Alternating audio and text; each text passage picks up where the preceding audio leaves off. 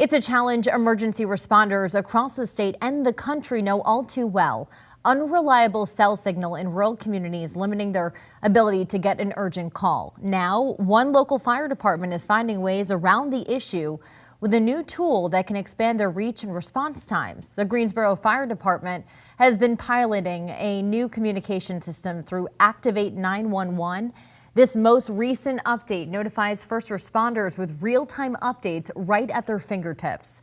The new system lets first responders use their cell phones to communicate directly over the radio. It also locates landmarks for them on the map, making it easier for responders to get to you while also keeping a live record of their calls. As helpful as the system has proven to be, it's a temporary fix for even a bigger issue, weak signal and internet access across the state.